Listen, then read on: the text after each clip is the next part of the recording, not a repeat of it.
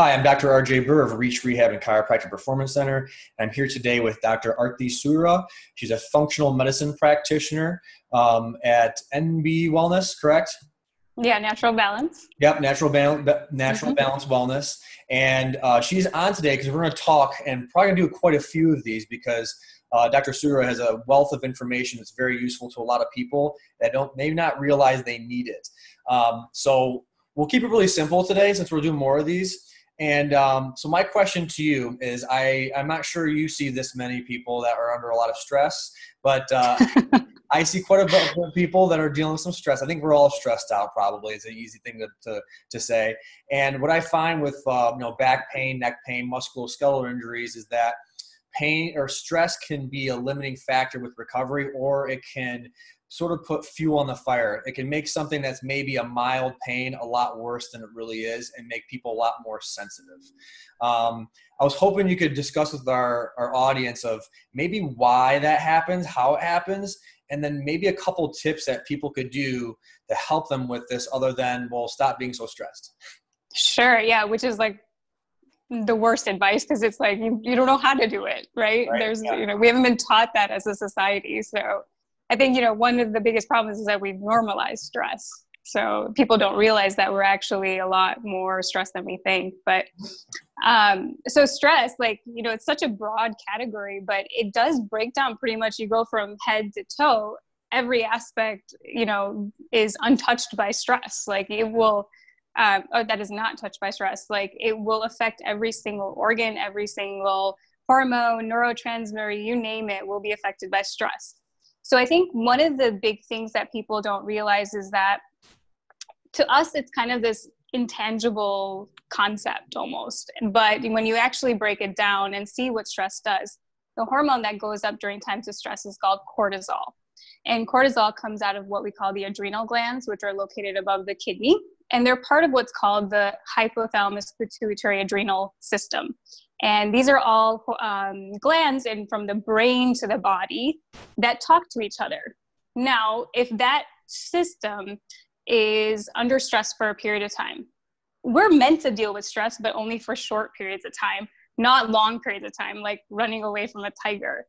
so, right, you know, we're still wired like our ancestors, which I think people don't realize and in today's modern day society we have stress from all different angles you know just financial stress uh, relationship stress the like just constant need to be busy and right now a pandemic you know there's a lot of stress going on right now which is impacting sleep hormones neurotransmitters uh, like digestion everything. So the big thing with people who have pain um, which you know they're coming to see you for yes part of it is definitely physical but part of it is also neurochemical. And so when you kind of put the pathways together the cortisol the hormone that goes goes up during times of stress dysregulates what we call the hypothalamus pituitary adrenal system. It should work as a symphony but if it goes on for long periods of time it starts to mess up essentially. So here's where hormonal imbalance comes. And that's not just for women, it's for men as well. Yeah. I think, you know, in our society, we always just say hormonal imbalance, we attribute it to women. Yes. It is for men as well. And that can show up as sugar cravings, salt cravings, uh, pain, uh, frequent urination, you know, low libido, hair loss, you name it, any sort of symptom, fatigue, you know all that can be attributed you know to the dysregulation of this. Now what a lot of people don't know when it comes to neurotransmitters these are the neurochemicals that help you feel good in your body that help you actually filter through pain that you know some things that wouldn't cause someone else pain can cause you pain because you just are depleted. Mm-hmm. and so stress depletes your neurotransmitters. There's an actual pathway where cortisol upregulates the uh, expenditure of norepinephrine to epinephrine so that you can run away from that tiger, right? But you're not supposed to be running away from a tiger 24 7. So this is depleting in the long run, which can then show up as, you know, first, a lot of our patients, you know, stuff that wouldn't cause other people pain, but they're like, you know, just bending my fingers. I have pain. You know, there's like, you know, I'm walking, I have pain but you know sometimes there's no actual physical or myofascial uh, root for the pain it's like, what is it? Okay, it's neurochemical. I see. And that drives that sensitivity where normal movement is not so normal anymore. It's just, it's maybe the movement's normal, but it doesn't feel normal. Exactly. Okay. Your sensation and experience of it is not normal. Okay. And so in modern day world, running away from a tiger now is more or less like uh, responding to a mean tweet or running away from your boss or, um, you know, chasing after fighting with your spouse. I don't, you know, right? All the other stuff, modern day stuff, right? Okay. Gotcha. Yeah. Yeah. Okay, cool. Makes sense. Yeah. The, um, it's the, the stuff is tough because you're right. It's so hard to be able to just shut it off or shut it down. There, it's like this perpetual cycle. You mentioned. I really like what you said about the symphony. It's like instead of all of these musicians playing in concert, they're all going rogue now, and everything's all mm-hmm. haywire and it sounds like crap. Now, this is maybe too deep of a question, and it's probably very individualized. But do you have any say of like um, uh, very simple or, or helpful tips for most people where they can start to get those musicians to play together again? Absolutely. So, one thing is getting your cortisol under control, right? So, uh, one of the things we're just rushing, rushing, rushing, rushing. So, simple things just starting your day two minutes in peace and if you can outside there's studies that shown that like just 10 minutes outside can help start to balance your cortisol levels. We're not meant to be so stimulated all the time. There's there's a beautiful, you know, our physiologies have evolved with nature. And so the more modern we become, the more disconnected from nature we've become. And I know it always sounds woo-woo, but you know, there's a reason you feel good when you walk on the beach. There's a reason you feel good when you spend time outdoors. It's because there are hormonal changes that are happening in response to you being outside. So, you know, I would say go for 10 minutes, but, you know, for some people that's not enough. They just can't fit that in their schedule. Do two minutes. Start with whatever you can. Mm-hmm. Go outside, deep breathe. So when your exhale is longer than your inhale, okay, you're activating what's called the parasympathetic nervous system. The parasympathetic nervous system is rest and digest mode. And when you're in rest and digest mode, you can therefore heal, right? if you're constantly in fight or flight mode, you're never getting into the healing mode. You're never repairing your muscles. You're never repairing, you know, hormones. You're never repairing your mind. Nothing gets repaired. Awesome. I love that. We teach breathing quite a bit, and usually. Yeah, I know you're big on it. Right, mine usually is typically like core stability, but we know there's a relaxation component to it. And you know that five five seven nine breathing pattern, like that would be an example. Five yeah, absolutely. In, hold for seven, breathe out for nine. Now, absolutely uh, that's a it's a great technique. Now, is that something? It's making me think about this. People will often say, "Well, you know, I don't have time for this, or I'm trying to, or you know, I try to go to bed earlier, but I can't fall asleep, so I'm still wound up." Is this type of breathing something people can use to be able to get to sleep, stay asleep? Absolutely. It's something that is not as immediate, I think. Like some for some people it can be immediate, but it's more you got to train your brain Mm-hmm. Once you train your brain, then you're so much more resilient that, you know, that's why they call these practices, right? Because you have to practice and train the mind and the body to kind of work co- like coherently. Once you do that, and then you're faced with another stressor, you will see that, my gosh, you're so much more stronger than you were before, like things that would have knocked you off your feet before, or you would have been irritated or whatever you're able to handle much easier. So I would say if you can try to do it twice a day you know, in the morning and in the evening. Uh, if you can fit it in in the afternoon too, it's just breathing. It's free.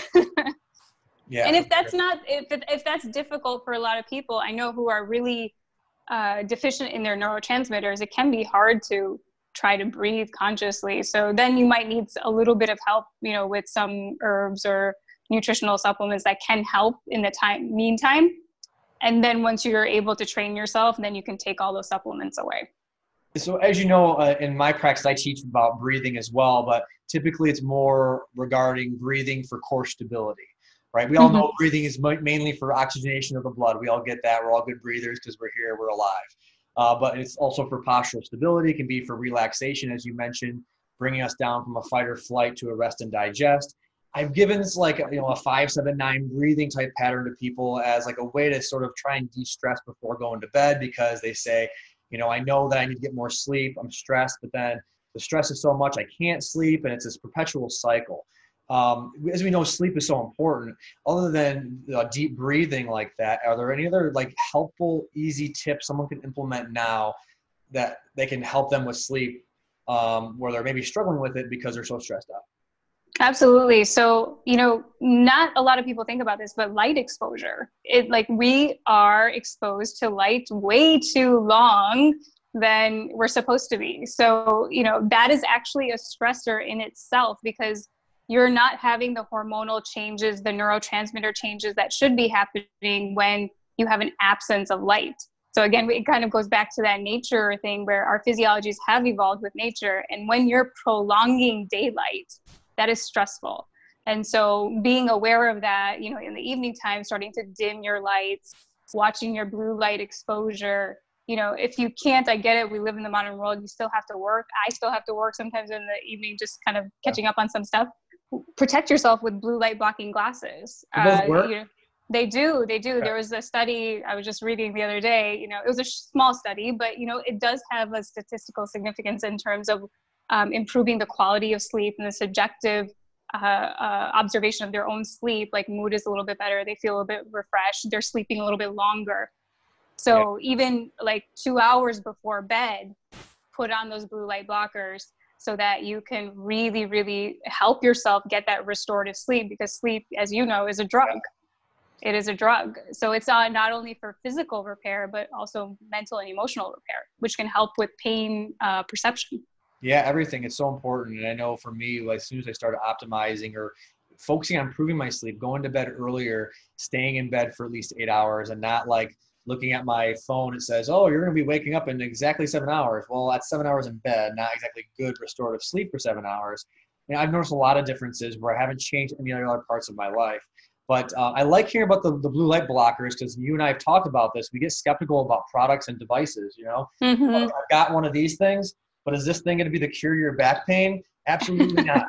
Right. right. So sometimes we get skeptical about that stuff. That's good to note because I get stuck into that too, where you have to be at home, you got to answer some emails or maybe finish a few notes, and you're going to be on the computer watching TV and having that blue, reducing that blue light exposure is great. Uh, I know on my computer I have the the function where it takes the blue light out, right? Where it's the yeah, and I don't think they're good enough. If you okay. want me to be completely honest, I don't think those the yeah. Flux app or whatever. I Flux, don't. yeah, exactly. Yeah. Well, it's good to know because I figured I'm using the Flux thing, it'd be fine. So maybe adding yeah. light blockers uh, yeah. helpful at the same time as using flux or even without flux so and you know uh, the it's not only just from the electronics you know people's overhead lighting and their lamps that is also artificial light that is extending yeah, yeah so maybe we should starting dim to dim yeah. exactly start to dim it so that your body gets the signal because if you're not giving the body the signal to go to bed you're not going to go to bed. I see. So looking at your phone right before bed, you know, swiping through Instagram, YouTube, not a biggest no no, biggest okay. no no. I gotcha. Yeah, um, no, that's great advice because we all kind of know this stuff, but there's sometimes it's hard to implement. It's hard to break that cycle, um, and it just becomes a perpetual cycle. We're like, oh, I know I should be doing this and I can't. These are helpful tips. What would you say to someone who's having a hard time maybe implementing these tips or sticking with them?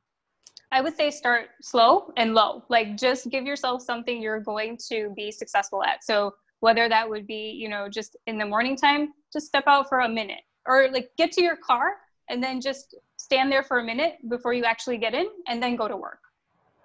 Start low and slow so that you set yourself up for success. Yeah. So that, you know, then, you know, the next week you can do 2 minutes, you know, outside or I'll just do 30 seconds of deep breathing that's it. Start yeah. low and slow. You got to build trust with yourself. So right. just start low and slow. Don't go like I have a bad habit also like going completely gung ho and then I never do anything. For sure. And on the other side of the coin, what about the people that kind of blow this off like, oh, what's 30 seconds of breathing going to do? Well, you're just starting to train your brain. Yeah. So just look at it that way. You know, you're still doing something. For sure. For yeah. Sure. Well, yeah. Uh, one more question. Why not just take melatonin? or take a pill? Ah, oh my gosh. Great question. Great question. So melatonin, though it's natural, uh, is is good for just like short periods of time, like jet lag, or you know, you've been traveling. A lot of us are not traveling right now. But the thing is, our body again works in feedback mechanisms. So if you look at melatonin is part of the serotonin pathway. And if you always give the end product melatonin, you're never going to go through the pathway of making serotonin. Serotonin is your happy chemical. It mm-hmm. makes it helps with mood. It helps with sleep onset.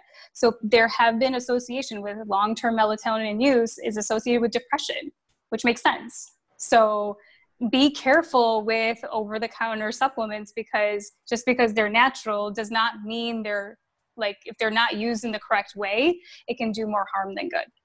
I see. Okay, makes sense because not going through the entire mechanism where it's kind of like, well, why eat food if you can just take individual supplements, right? There's a exactly synergistic effect to it, and it's not just one one cog in the system, and you, you, it's it's it's not it's not holistic, I guess, right? It's exactly it's not using the the direct mechanism we use to make it. It's sort of hijacking it. It sounds like it may be a good short term solution, but not long term.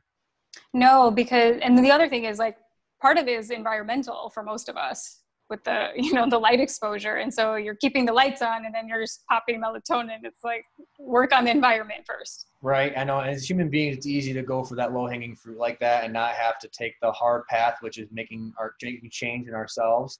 And which leads me to a, one of my one of my favorite quotes. That's your quote. And i don't know if you get that from somewhere else.